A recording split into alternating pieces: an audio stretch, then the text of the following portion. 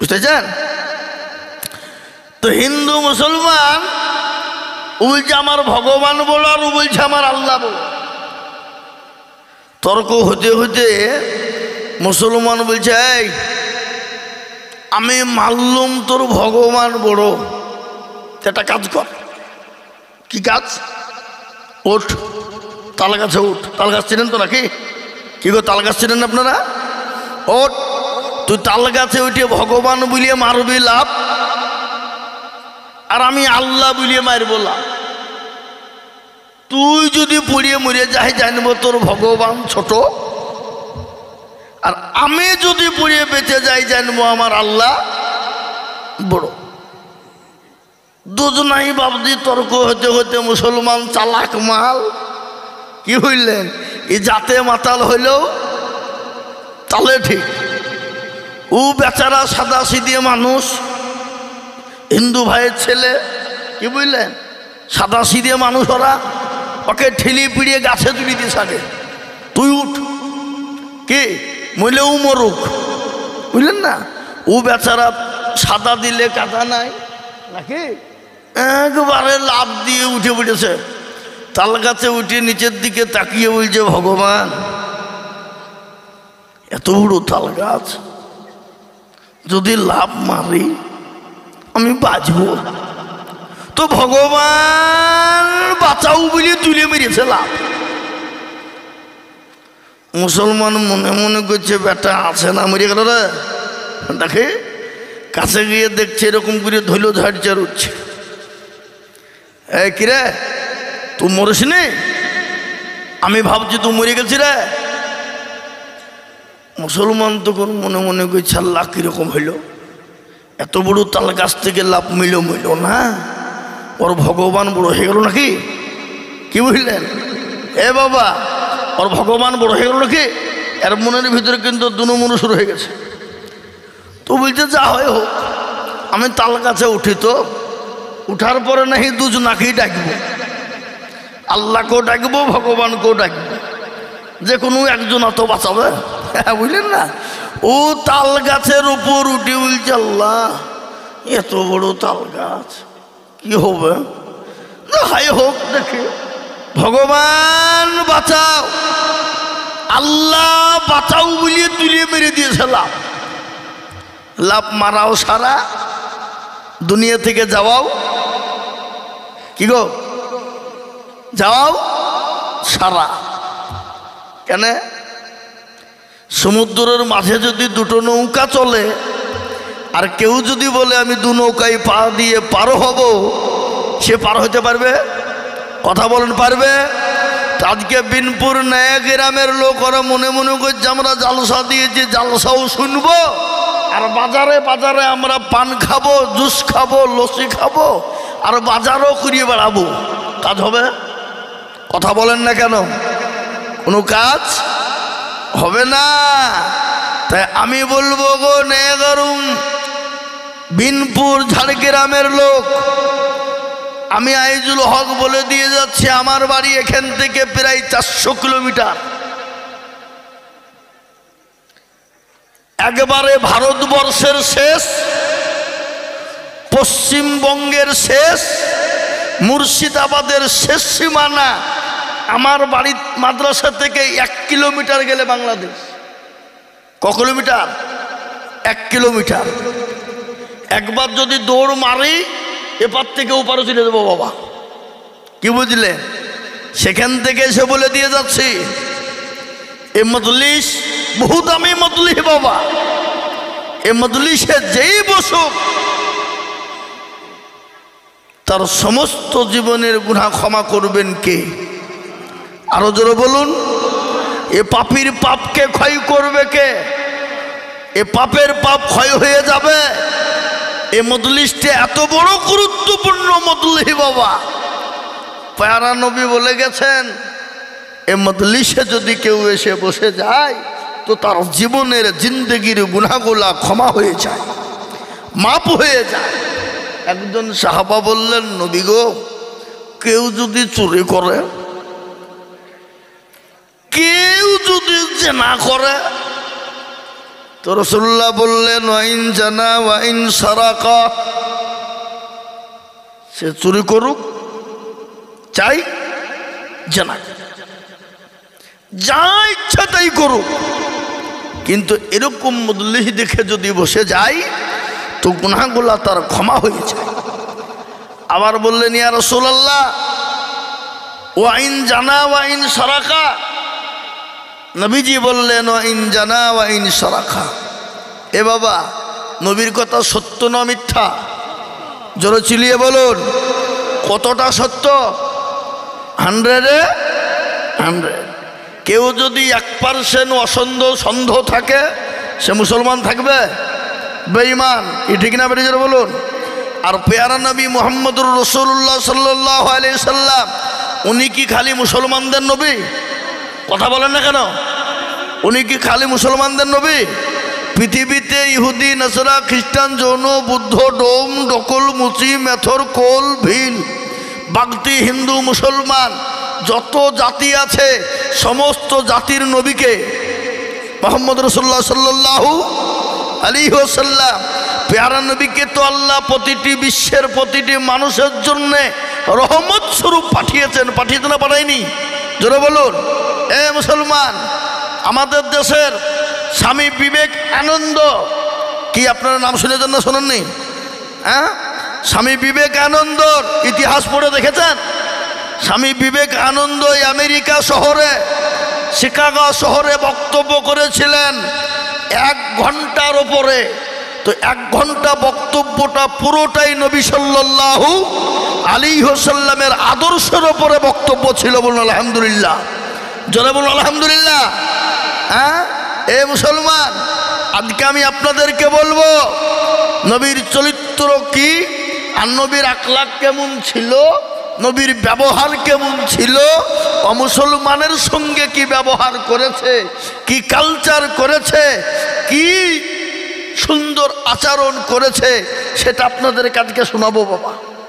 ঠিক? ঠিক না জোরে বলুন। হ্যাঁ? আল্লাহর কোরআন খুললি পাওয়া যাবে।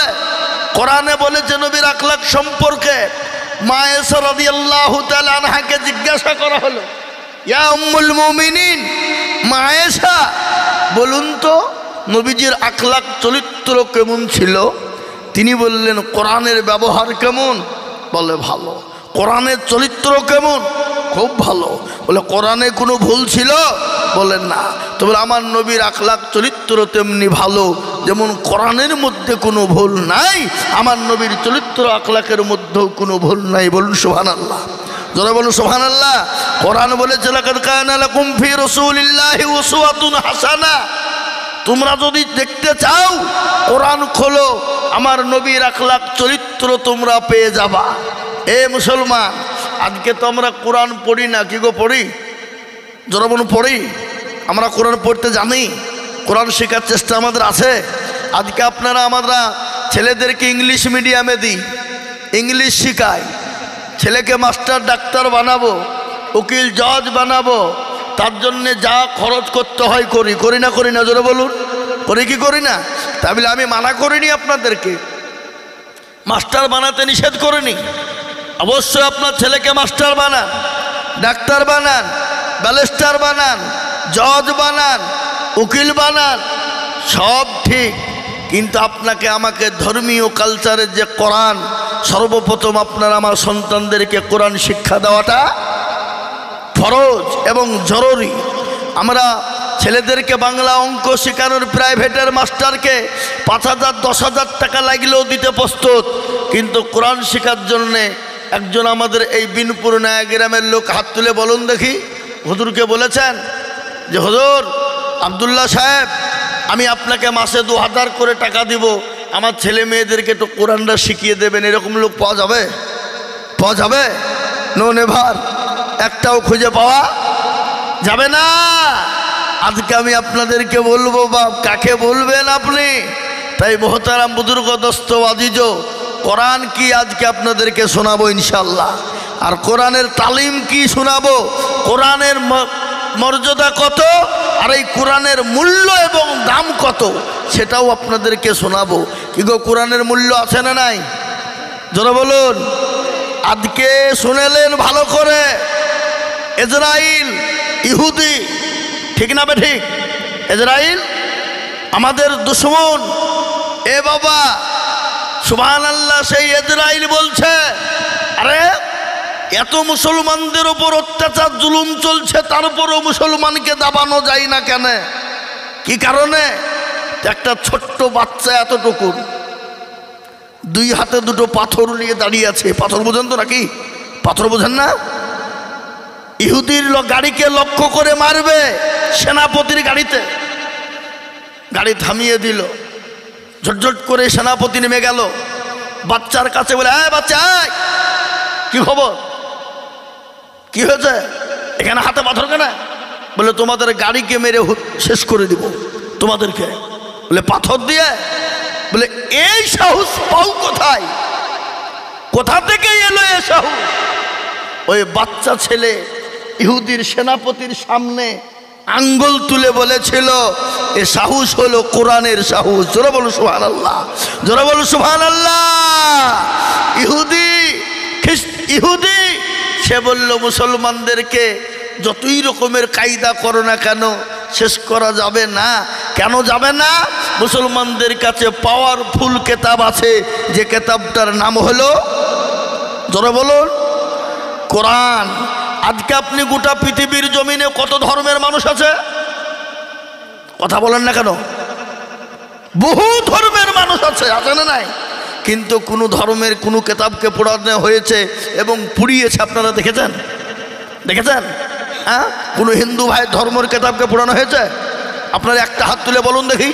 ভারতবর্ষের জমিনে, গোটা বিশ্বের জমিনে কোনো হিন্দু ভাইদের যে কেতাব রয়েছে, বই রয়েছে, সে বই পড়ার পড়ানো হয়েছে, এরকম নজির একটা পাওয়া যাবে? কোনো খ্রিস্টানের কেতাব পড়ানো হয়েছে, কোনো নজির আছে? কোনো ইহুদির কেতাব পড়ানো হয়েছে, কোনো নজির আছে? কোনো বুদ্ধদের কেতাব পড়ানো হয়েছে, কোনো নজির আছে? কিন্তু আপনি লাখো লাখো নজির নিতে চান, আল্লাহর কোরআনকে পুড়িয়ে দিয়েছে ইহুদি না সারা খ্রিস্টানরা, এ নজির আছে না নাই? জোরে বলুন। আছে না নাই? হ্যাঁ? কিন্তু মুসলমান দরদি, কিন্তু তারা জানে। কি জানেন? বলে, আমাদের এই এই মুসলমানদের এই কেতাবের এত দাম, এর এত ওজন আর এত পাওয়ারফুল ততক্ষণ পর্যন্ত এই কোরআনকে মিটিয়ে না দেওয়া যাবে। ততক্ষণ পর্যন্ত মুসলমানদের সাহিস্তা করা যাবে না। কিন্তু কোরআনকে মেটানো যাবে? কথা কন না কেন পুনঃ যাবে? যাবে না, ইসলামকে মেটানো যাবে? ফেরাউন, নমরুদ, আবু জাহেল আবুল আহাব উদবা সাইবা মুগিরা, এরা ছিল দেশের অনিনল। অনিনাল full of the power, super power ছিল এদের। এদের মতন পৃথিবীতে এখন ওরকম কেউ আসতে পারেনি। কি? তারা যখন মিটিয়ে দিতে পারেনি, কেয়ামত পর্যন্ত মারুতে দাম তক মুসলমান থাকবে? কোরআন থাকবে, ইসলাম থাকবে, জিন্দা থাকবে বলুন ইনশাল্লাহ জোরে বলুন ইনশাল্লাহ এই কোরআনের মূল্য কত? আর এই কোরআনের দাম কত? এ কোরআনকে মুসলমানরা আজকে চিনে না, মুসলমানরা কোরআনকে বুঝে না, মুসলমানরা কোরআনকে চিনতে চায় না। এই দেখেন এক এক দু হাজার চব্বিশ। আজ কত তারিখ হলো? হ্যাঁ? ছয় তিন। ছয় তিন দু হাজার চব্বিশ নাকি হুজুর? হ্যাঁ? এই এক এক দু হাজার চব্বিশের একটা ঘটনা আজকে আপনাদেরকে শোনাই। কি বলব কি বলব না? আপনারা নিউজ দেখেছেন? খবর পড়ে দেখে নিয়েন। যে কোরআনের ভুল ধরতে গিয়েছিল, কোরআনকে ভুল ধরে তারা মিথ্যা প্রমাণ করতে চেয়েছিল। কি? অস্ট্রেলিয়া আমেরিকা ইউরোপ কোরআনের ভুল ধরতে গিয়ে রিসাদ করতে গিয়ে দেখল কোরআনের মধ্যে কোনো ভুল নাই। কেন নাই? দেখবেন যে কোনো লেখক যখন বই লিখে, কেতাব লিখে, লিখতে গিয়ে প্রথমেই বলে দেয়, যদি ভুল ত্রুটি হয় তো আল্লাহ ক্ষমা করবে। আপনারা আমাদেরকে ধরিয়ে দেবেন, আমরা ভুলটা শুধরে নেব। বলো না বলো না। কি গো, বলা কি বলে না? কিন্তু এই কোরআনের মালিক সর্বপ্রথমেই তিনি বলেছেন, জালিকাল কিতাবুল আর বাফি এ কোরআনের মধ্যে ভুল নাই, ভুলের কোনো অবকাশ নাই। এ বাবা, সেই খ্রিস্টানদের পাদরি, ও মুসলমান, যার লক্ষ লক্ষ মুরিদ কোরআনের ভুল ধরতে গিয়ে এক এক দু হাজার চব্বিশে কোরআনকে সামনে নিয়ে কলমা পড়ে একসঙ্গে দশ হাজার খ্রিস্টান একসঙ্গে কলমা পড়ে মুসলমান হয়ে গেল। দশ হাজার কলমা পড়ে মুসলমান হয়ে গেল। কি নাম তার? তার নাম হলো ডেভিড গোল্ড কি নাম বললাম? ডেভিড গোল। অস্ট্রেলিয়ার মাটিতে দশ হাজার মুরিদকে সঙ্গে করে নিয়ে কলমা বলা হয়ে কোরআনকে সামনে নিয়ে দশ হাজার মুরিদকে সঙ্গে করে কলেমা পড়ে, লা ইলাহা ইল্লাল্লাহু মুহাম্মাদুর রাসূলুল্লাহ সাল্লাল্লাহু আলাইহি ওয়াসাল্লাম। কলমা পড়ে মুসলমান হয়ে গেল। জোরে বলুন, আলহামদুলিল্লাহ। জোরে বলুন, আলহামদুলিল্লাহ। আজ আমি আপনাদেরকে বলতে চাই, এই কোরআনের মূল্য কত? এই কোরআনের দাম কত? এ কোরআন যার বুকে থাকবে, তার বুকের সেনা বেড়ে যাবে। এ কোরআন যার মধ্যে থাকবে, তার পর বেড়ে যাবে। এ কোরআন যার ভিতরে থাকবে, তার সুপার পর বেড়ে যাবে। পৃথিবীর এমন কোনো বেঈমান নাই যে তার বুককে চিরে বের করে দিতে পারে। এবার, এ কোরআনের মালিককে, একটু চিল্লিয়ে কন্যাকে কোরআনের মালিক একজন। কোরআনের মালিক আল্লাহ নিজেই বলেছেন কেউ যদি কোরআনের খিদমত না করে, হেফাজত না করে, এই কোরআনের হেফাজত করবেন কে? আরও চিলিয়ে বলুন কে? এই কোরআনের হেফাজত করবেন আমার আল্লাহ। আল্লাহ নিজেই বলেছেন, কোরআনের মালিক আমি, কোরআনের খিদমত করব আমি, হেফাজত করব আমি, কিন্তু কীভাবে কাদ্দারাতে করব, আমি আল্লাহ ছাড়া পৃথিবীর কেউ বলতে, জোরে বলুন কেউ বলতে পারবে না? আজকে শুনেলেন এই কোরআনের কত মূল্য, কত দাম, আর এই মজলিসে বসে কেউ যদি একটা কোরআনের আয়াত শিখতে পারে, সারা পৃথিবী বিক্রি করলেও তার মূল্য দেওয়া যাবে? একটা কোরআনের অক্ষরের মূল্য দেওয়া যাবে? তো বিনপুর নায়ক গ্রামের লোক তো চালাক বা কি হইলেন? আরে, এত মৌলবীর ওয়াজ শূন্য কিন্তু আজিজুল হক মুর্শিদাবাদ থেকে এসে বলে গেল, কোরআনের এত মূল্য, এত দাম, সকালবেলাতে জালসা শেষ ছাত্র বেটাকে হাত ধরে টেনে নিয়ে এসে বুঝাই চ মাথায় চ। বলে কেন গো? বলে কালকে আইজুল হক বলেছে কোরআনের বহুত মূল্য। তাই নাকি? সোহান আল্লাহ চলো। মাদ্রাসায় নিয়েছে ভর্তি করে দিয়ে বলছে সেক্রেটারিকে নবাব ভাই। এ মাদ্রাসার হুজুরকে কারি আবদুল্লাহ। কই তারা? বলে আমার ছেলেকে ভর্তি করুন। বলে কেন? বলে আইজুল হক সে বলেছে কোরআনের মূল্য সারা পৃথিবী বিক্রি করলেও হবে না। তাই তো বলে। কত লাগবে বলে এক হাজার? ভর্তি হয়ে গেল। এক, দুই করতে করতে করতে ছ মাস। ক মাস গো? ক মাস? ছ মাসের মধ্যে গট গট গট গট করে কোরআন পড়তে শুরু করে দিয়েছে বাবা। হঠাৎ করে কারি আবদুল্লাহ ডাক দিয়ে বলছে, আরে বাবা, আমার তো আগামী কালকে খড়গপুর যেতে হবে। তো একটা কাজ করতে হবে এটা ঝট করে যা। এদের টাকা লে আর এই জুতো দুটোলে নিয়ে বিনপুর বাজারে গিয়ে দেখা মুচি মুচি বুঝেন তো নাকি? যারা জুতো সেলাই করে তাদেরকে কি বলে? মুচি বলে না? মুচির কাছ থেকে জুতোটা সেলাই করে নিয়ে, রং করে নিয়ে। আর যে একশো টাকা লে তাল, বিলিম, বাবজি টাকাটা লিয়ে সাইকেল, চড়ি, জুতো দুটো লিয়ে একবারে কার কাছে? মুচির কাছে। মুচিকে গিয়ে বলে, এই মুচি সেলাই করো। কত? বলে, একশো। ঠিক আছে। তাল বিলিম জুতো দুটো দিয়ে একশো টাকাকে ভাঙিয়েছে বাবা। ভেঙিয়ে চা, পান, একবারে মুখে লাল করি ঠুট লাল করি বিনপুর বাজারে ঘুরে বেড়েছে তো জুতো মুচির কাছে সেলাই হয়ে গেল। তো মুচি গেছে বলে মুচি হয়েছে? কত? একশো। তো তালবেলি বলছে মুছে প্রতিদিন জুতো সেলাই করো আর টাকা লাও আজ একটা নতুন জিনিস দিব তা তুমি লিবা মুচি মনে মনে করছে তালবেলি মানুষ নিশ্চয়ই ভালো কিছু দেবে। দাও বাবা, দাও কি দিবা, দাও। এই দাও যখন বলেছে রে বাবা। মুচি বলে, ও তালবেলিম বলে মুচি, ভালো করে শুন। আমার আল্লাহ কোরআনে পাকে বলেছে, মানুষের উপকার করবি, কোনোদিন ক্ষতি করবি না। মানুষের ভালো করব, ভালো কাজ করবি, কিন্তু কোনো দিন মানুষের ক্ষতি করবি না রে মুচি। আমি তোকে দিয়ে দিলাম আল কোরআন। যা মুচি, তোকে কোরআন দিয়ে দিলাম। এই কোরআন দিয়ে দিলাম যখন বলিয়েছে বাপ, একবারে মুচির রক্ত কোথায়? আপনারা বলুন কোথায়? মাথা বলে, এই তালবেলি ভাই, এই লাইন কবে শিখলি? ফেল টাকা, ফেল। তালবেলি আল্লাহ, আব্বা আমাকে বলল, কোরআনের দাম। আর এই কোরআনের দাম জিজ্ঞাসা করতে এসে মাদ্রাসায় পড়তে গিয়ে কোরআনের দাম জিজ্ঞাসা করতে আমাকে মার খেতে হইল। ধমক, যা পড়ব না, যা। যা মাদ্রাসায় পড়ব না, সোজা বাড়ি। আবদুল্লাহ সাহেব বলছে, আমার ছেলে এবার গেল কোথায়? আর জুতু এবার গেল কোথায়? খোঁজলে কিন্তু বিনপুরের মাল বাবা কারেন্ট মাল। বাড়িতে কচে কচে চলে যাবে, কি ব্যাপার করেন বাড়ান আমার আব্বাকে খালি পেয়েছেন পাগলা মানুষ, আর আমাকে মাদ্রাসায় ভর্তি করে দিল, আর মাদ্রাসায় যে আমাকে কোরআনের দাম জিজ্ঞাসা করতে গিয়ে আমাকে মার খেতে হলো এই লাইনই পড়ব না আমি। বলিস কে? তোকে কোরআনের দাম দেয়নি? তো বলে, না, আয় আমার হাতে। মাদ্রাসায় এসে বাবজি কই, এটা টাকা লে, যা মুচিকে দেখা মুচি যদি না লেয় তো একটা কথা শোন। একটা পাথর দিচ্ছি, পাথর বুঝেন তো নাকি পাথর? এই পাথরটা নিয়ে গিয়ে সর্বপ্রথম মুচিকে দিবি। মুচি যদি লেয় তো ভালো, আর যদি না লেয় তাহলে জুতো দুটো নিয়ে টাকাটা দিয়ে একটা দোকানে রাখবি রেখে এখানে বড় বাজার কোথায় গো? ঝাড়গ্রাম বাজারে। সোনা পড়িতে চলে যাবে, কিন্তু মাল বেচবি নি। বলো, ঠিক আছে?